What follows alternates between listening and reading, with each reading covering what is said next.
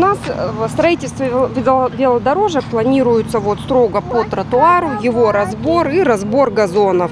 Варварски разрушенная плитка и газон. Так начинается укладка велодорожек на улице 280-летия Барнаула. О том, что вдоль домов появится дорожка, местные жители узнали, когда рабочие уже приступили к демонтажу. Позже выяснилось, что об устройстве велодорожек позаботились в мэрии.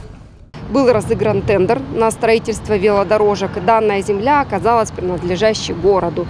И, естественно, ни мнения жителей, ни мнения застройщиков, ни управляющей компании никто не спрашивал. Жители ЖК Лапландии двумя руками за велодорожки, но давайте их построим там, где идет стройка и где нет ничего, чтобы не рушить то, что уже посажено.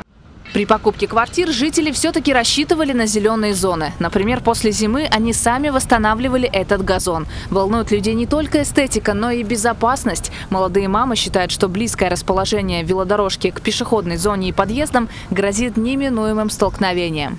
Вот, допустим, сзади а, вас сейчас просто маленький велосипедист едет, то есть он едет вообще по пешеходной части. Если она здесь будет, то, скорее всего, сюда бу- будет скатываться большинство велосипедистов просто покататься именно здесь, потому что э, в большинстве города у нас негде кататься.